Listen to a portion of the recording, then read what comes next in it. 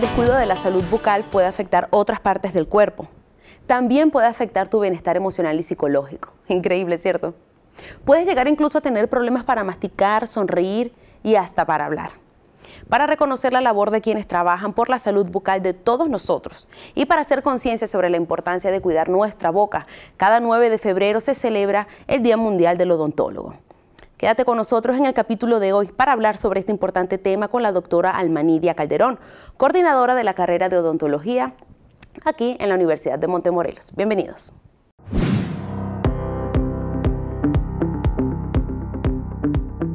Qué bueno que están con nosotros en un programa más de Queremos Saber. Y el tema de hoy, con la doctora Alma, que ya nos acompaña, muchas gracias, es salud bucal doctora, salud bucal. La Organización Mundial de la Salud y otras organizaciones desde hace años están trabajando en la prevención de enfermedades en, la, boca, ¿no? De bucodental. Y este, pues se habla de que la salud bucodental afecta muchas áreas de nuestra vida, nuestro desarrollo diario. Pero entonces cuéntenos usted, que es la experta, ¿en qué consiste la salud bucodental? Así es, como tú lo mencionaste, Laura, la salud bucodental es importante y la Organización Mundial de la Salud, la OMS, ha buscado estrategias para cuidar de esa salud. Sin embargo, muchos de nosotros dije, quisiéramos saber realmente qué es la salud bucodental y en general podemos explicar qué es la ausencia de enfermedad y de un dolor orofacial. Muchos sabemos que cuando tenemos algún dolor nos empieza a molestar el diente y eso hace que corramos con el dentista. Sin embargo, ¿qué es tener salud bucodental? Es estar nuestra boca con buena higiene, tener buena alimentación porque eso nos va a ayudar a que nuestra masticación y nuestros dientes puedan triturar mejor nuestro alimento. Y ese alimento triturado caiga nuestro estómago y nuestro estómago lo pueda deglutir mejor y de esa forma nuestro cuerpo va a estar bien. La salud bucodental es un completo, es integral, no es exclusivo de la, solamente los dientes. De esta zona nada más. No, no, no, abarca lo que es todo el cuerpo, porque desde el momento que tú tomas un bocado y lo masticas, lo muerdes, lo trituras, eso cae a nuestro estómago. De ahí va a depender si vamos a tener problemas intestinales o no.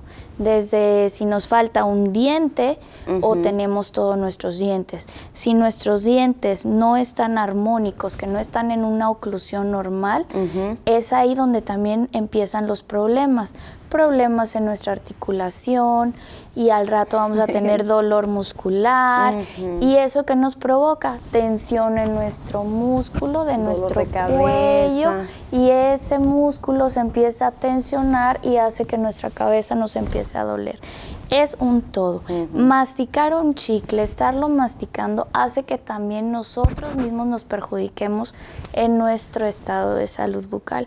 Por eso es importante que nosotros conozcamos cómo cuidarnos y lo ideal es manteniendo una buena higiene, nuestra alimentación y lo más importante que hace bien a nuestro cuerpo, tomar agua. Si nosotros hidratamos nuestro cuerpo, nuestro cuerpo nos lo va a agradecer y nuestra boca también, porque de esa manera vamos a evitar tener llaguitas en nuestra lengua, en nuestra encía y también eso va a hacer que nuestra alimentación sea más grata. No sé si te ha pasado alguna vez o has tenido algún conocido que tiene algún fueguito, una llaguita dentro o fuera de la boca. Es muy estresante, es incómodo porque no puedes comer bien, te estás lastimando y muchas veces esa llaguita pequeña se va haciendo más grande. Y es por lo mismo, porque no estás teniendo buena hidratación. También influye el estrés que tú estés manejando. Si tú estás bajo estrés, tu salud bucodental también se ve afectada en ese sentido. ¿Por qué? Porque entonces todos tus dientes inconscientemente traes tantas cosas en tu cabeza que estás apretando, apretando. y entonces haces que este, estos dientes bonitos se vayan desapareciendo porque van haciendo presión, presión. ¿Y qué sucede? Amaneces con dolor de cabeza, amaneces irritado y molesto. ¿Y qué pasó? Pues es un problema que ya está lastimada tu musculatura porque estás apretando sin darte cuenta. ¿Qué puedes hacer ahí? Ahí se coloca un tratamiento, un guarda que se va a ayudar a ejercer un espacio y eso te va a ayudar a ir relajando todos esos músculos para que no presentes mayor enfermedad, porque luego a medida se va incrementando y se va provocando otras afecciones que van a ir complicando más tu estado de salud bucal. Vamos a seguir hablando sobre este tipo de afecciones. ¿Qué pasa cuando nuestra salud bucal está comprometida? Esto lo vamos a ver en el siguiente segmento. ¿Sabías que el riesgo de padecer de caries y otras afecciones bucodentales aumenta con la edad? Esto pasa muchas veces a causa de la boca seca, un efecto secundario muy común de medicamentos de receta y bacterias que se adhieren a las dentaduras postizas. Por esto, la Asociación Americana Dental sugiere a las personas de edad avanzada que además de mantener el hábito de cepillado diario y uso del hilo dental, elijan un cepillo de dientes con cerdas suaves y un cabezal pequeño para facilitar el acceso a las zonas complicadas sustituir el cepillo cada 3 o 4 meses y si tiene artritis o alguna otra afección que limite sus movimientos, puede usar un cepillo de dientes eléctrico. A quienes llevan dentaduras postizas completas o parciales, la recomendación es limpiarlas a diario con productos específicos para este fin. Como pudimos ver en el segmento anterior, la salud bucal es una ventana o una puerta para nuestra salud general. Eso nos lo explicó la doctora Alma y ahora queremos que nos hable, doctora, sobre qué es lo que pasa cuando la salud bucal, cuando nuestra salud bucodental está comprometida. Cuando nuestra salud bucodental está comprometida, empezamos a ver afecciones en nuestra boca. ¿Y cómo podemos detectarlas? Empezamos a ver que hay llagas, empezamos a ver que hay pequeños fuegos, ya sea en nuestros labios o internos, empezamos a ver que nuestras encías están inflamadas.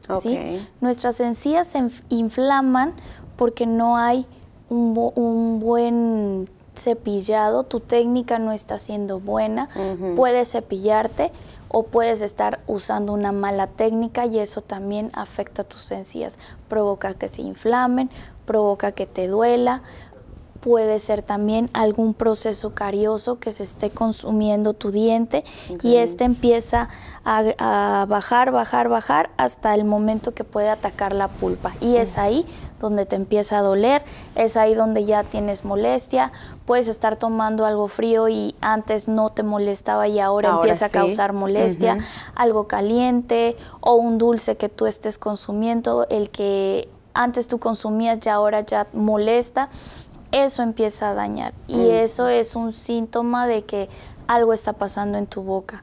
¿Qué otra cosa pudiera ser cuando amaneces y te duele, como ya lo mencioné antes, tus músculos, que empieces a tener dolores de cabeza, es muy importante que se revisen, es muy importante que vayan cada seis meses a una visita con el dentista, porque eso te va a ayudar a mantenerte en prevención y que si requieres algún tratamiento pueda ser inmediato y no tenga que ser un daño ya más severo.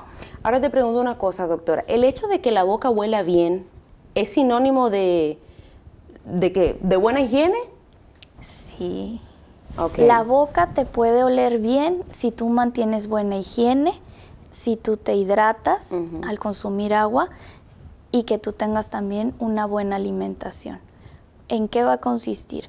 Normalmente cuando nosotros amanecemos tenemos un olor como a moneda romana, nosotros decimos, un olor extraño, pero ese olor es normal, ¿sí? ¿Por qué? Porque duraste un tiempo limitado donde estuviste durmiendo. Y en ese tiempo tú estás descansando. No hay tanta producción de saliva. Por eso es importante hidratarte, tomar agua durante el día y antes de dormir por lo menos tres horas antes para que hidrates, porque si tú tomas un 5 o 10 minutos antes de acostarte, pues en la madrugada te va a dar ganas de ir al baño y son otras consecuencias. Sin embargo, el hidratarte te va a ayudar a limpiar, ¿sí? Y el limpiar, eso significa que hasta tu estómago va a estar limpio. Cuando tú te levantas, debes de tomar agua, lavar tus dientes y entonces hacer todos tus procedimientos para tu persona y de ahí debes de desayunar Porque si tú no desayunas, ahí es donde hay problemas. Empieza a haber entonces una serie de trabajos químicos en tu estómago y eso hace que suba y tu boca tenga un olor muy peculiar. No desayunaste y luego no tomaste agua, entonces eso daña más. Si no te da tiempo de desayunar, por lo menos toma agua, hidrata. Sí, pero sí es bueno tener a la mano una fruta que por lo menos puedas consumir, porque eso te va a ayudar. La manzana es ideal si estás corriendo y no tienes tiempo, porque una manzana tiene fibra y esa fibra te ayuda a limpiar los dientes y aparte te va a ayudar a tener un alimento en tu estómago. Un alimento en tu estómago. Fíjate que aunque no te cepilles puedes tener mal aliento, pero por falta de desayuno. Qué increíble, el cuerpo es una cosa maravillosa. Vamos a hablar justamente de eso en el siguiente segmento, sobre la técnica del cepillado. Ya que es tan importante, vamos entonces a aprender a cepillarnos muy bien. Así que amigos, los esperamos en el siguiente segmento. Quédense con nosotros.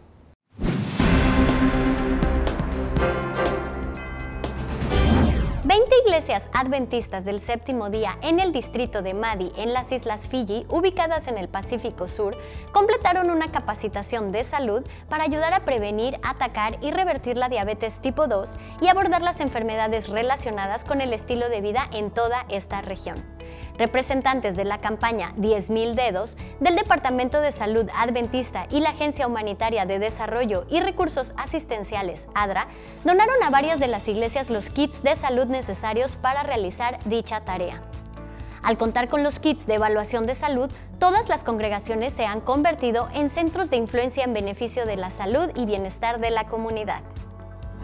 El pasado 29 de enero se realizó una ceremonia para celebrar la expansión y remodelación de la Escuela Nacional Adventista de Amán, Jordania, ubicada en la zona céntrica de esta ciudad. Al evento asistió el pastor Ted Wilson, presidente mundial de la Iglesia Adventista del Séptimo Día, junto con su esposa Nancy. A 78 años de su creación, la escuela casi ha duplicado su espacio original, ya que al expandir su plan de estudios para brindar una educación más integral e incluir clases extracurriculares de salud, idiomas y música para la comunidad local, surgió la necesidad de construir más aulas. Rick McEdward, presidente regional de la Iglesia Adventista en el Medio Oriente y África del Norte, mencionó que al expandir el plan de estudios, la escuela busca ayudar que los niños y adultos de la comunidad puedan disfrutar de una mejor calidad de vida y adquirir más herramientas para lograr objetivos personales. Bajo el lema Herederos de la Promesa, más de 200 jóvenes de familias pastorales en el territorio de México, Centroamérica, el Caribe, las Antillas Francesas, así como Colombia y Venezuela, participaron del primer retiro de hijos de pastor realizado el pasado 8 y 9 de febrero. El evento buscó reforzar en los asistentes la seguridad de su propósito y misión en el mundo actual, así como en la iglesia adventista, mediante pláticas sobre liderazgo, salud, medios sociales, cómo hacer frente a la crítica, salud mental, entre otros.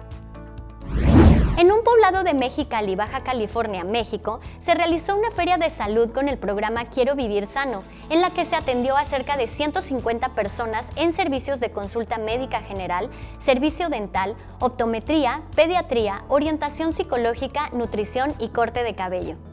También se entregaron despensas y se realizó una caminata para promover los ocho hábitos saludables que propone el programa Quiero Vivir Sano.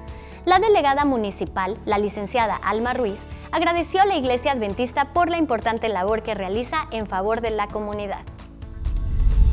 El doctor Miguel Ángel Navarro Quintero, presidente de la Comisión de Salud del Senado de la República, visitó la institución el pasado viernes 7 de febrero en respuesta a la propuesta enviada por el Instituto de la Visión del Hospital La Carlota para ofrecer colaborar en el sector salud, más específicamente en la realización de cirugías de cataratas, área en la que el instituto cuenta con larga trayectoria.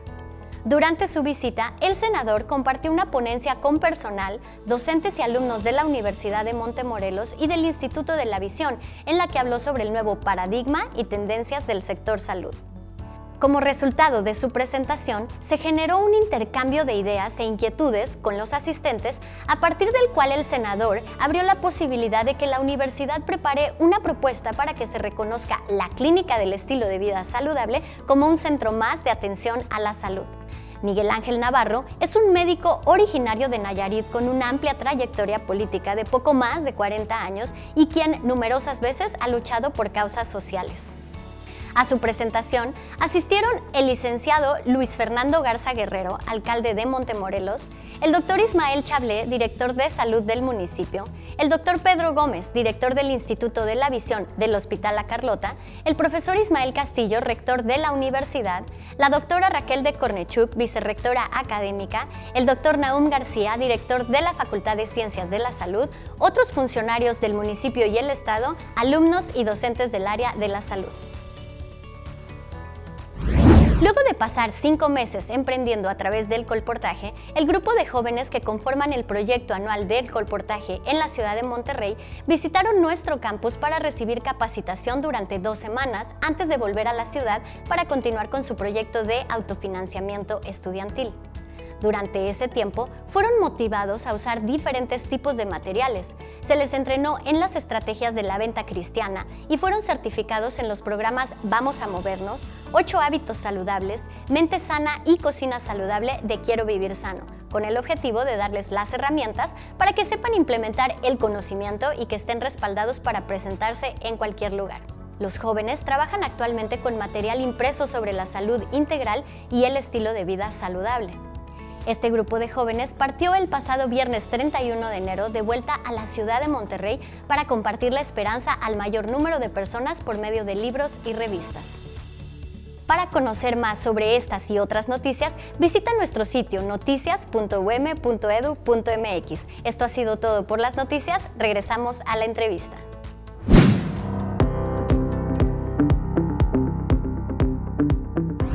Ya estamos de regreso y vamos a la parte práctica con la doctora Alma.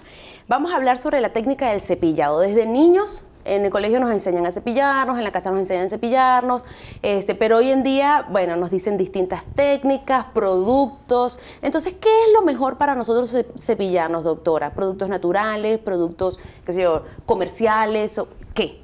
Mira, primero tienes que saber hacia quién va dirigido. Okay. ¿Es niño, es un adolescente, es un adulto o es una persona adulto mayor?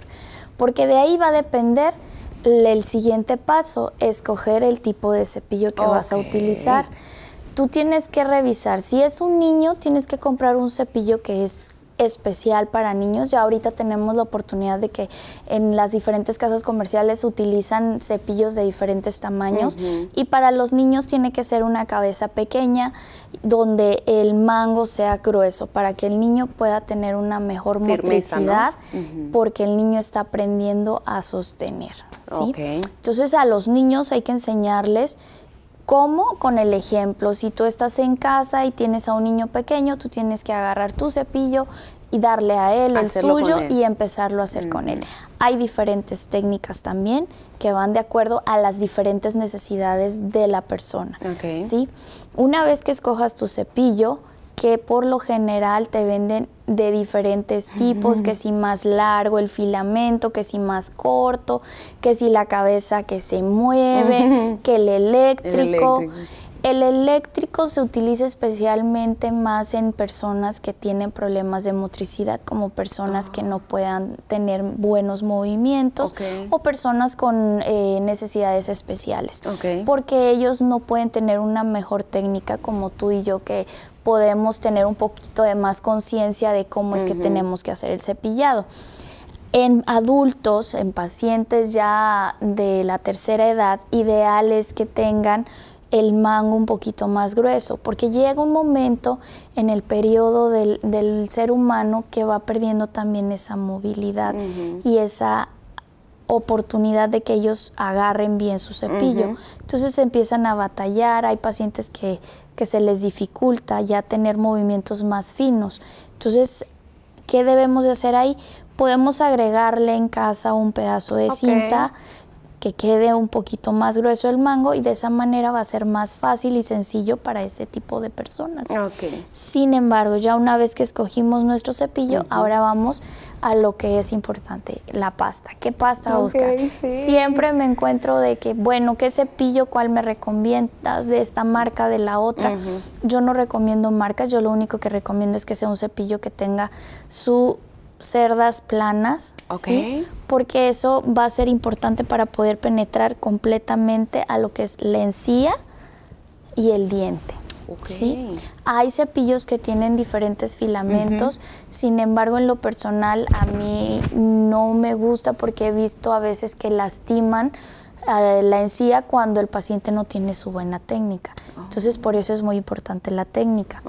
Una vez que escojo mi pasta, ¿qué pasta voy a utilizar? Hay pastas que tienen mucha menta, hay pastas que tienen mayor flúor. Si yo, yo tengo un niño, yo le tengo que dar una pasta que tenga un porcentaje pequeño en flúor. ¿Por qué? Porque el niño se le debe de llevar a sus citas periódicas, pero el niño también, se, eh, como son pastas fabricadas para que a los niños les guste, se la comen.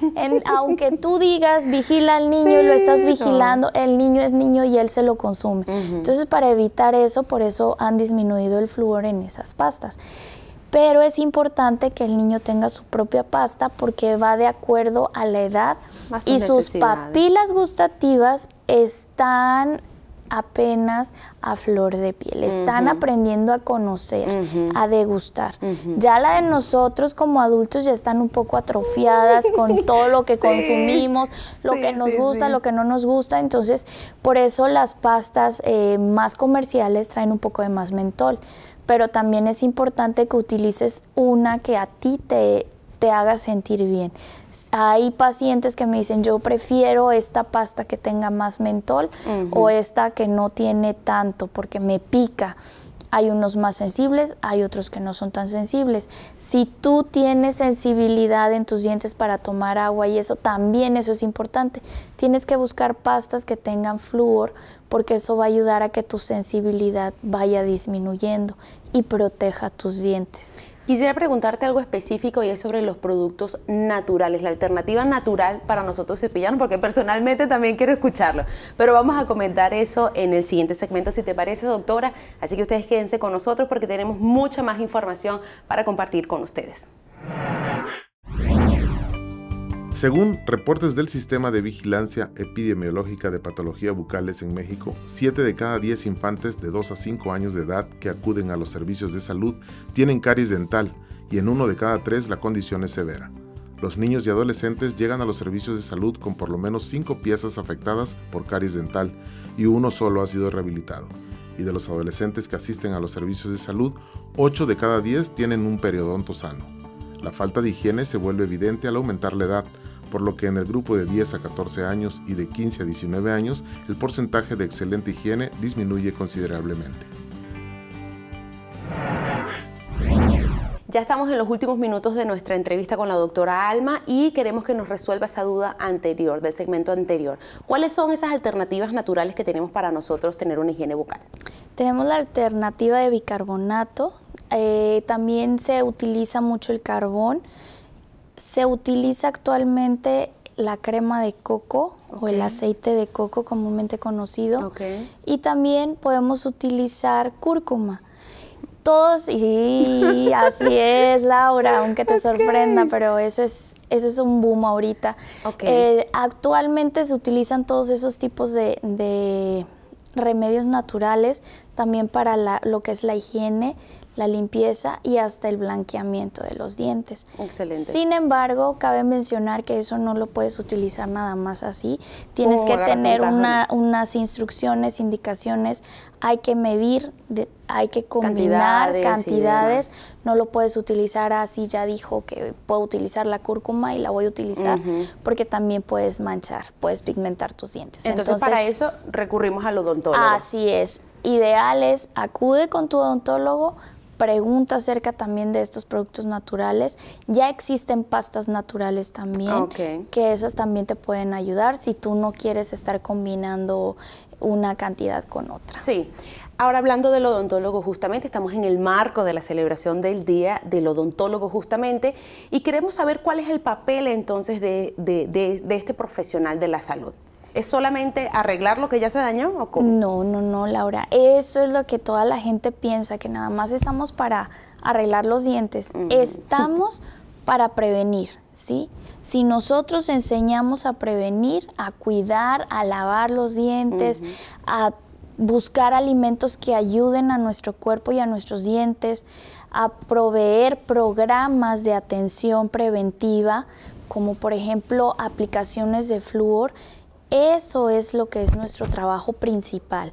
Ya de ahí nos vamos a la parte de un tratamiento de limitación de daño. Ya hay un daño más específico en la boca, ya hay algo que atacar. Bueno, entonces ahí entramos más en acción. Pero lo ideal es que nosotros podamos ayudarles a prevenir qué mejor que nadie estuviera sufriendo con un dolor de diente, un dolor de muela. Es horrible, las personas no toleran ese dolor, es muy fuerte. Entonces, para no llegar a ese extremo es mejor la prevención y estamos seguros que aquí en la Universidad de Montemorelos, ustedes los profesionales ya de la salud bucal, pues enseñan a nuestros odontólogos a atender estas necesidades importantes porque es una preocupación a nivel internacional.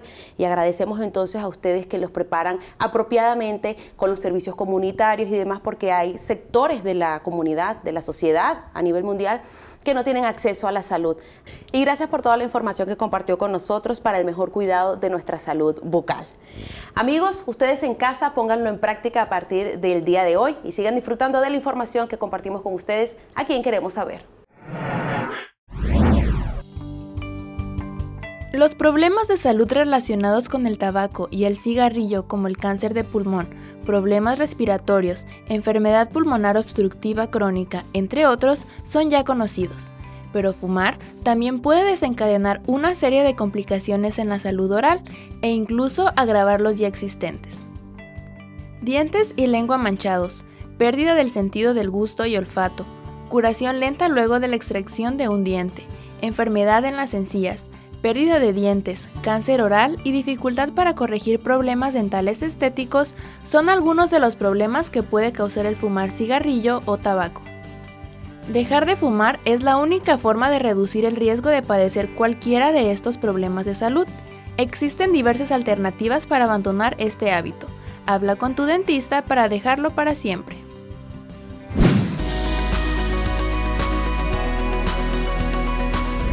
Hola, ¿qué tal? Es muy importante eh, en estos tiempos eh, vivir de la prevención, eh, saber que hay diferentes métodos que podemos utilizar para detectar algún riesgo, alguna enfermedad.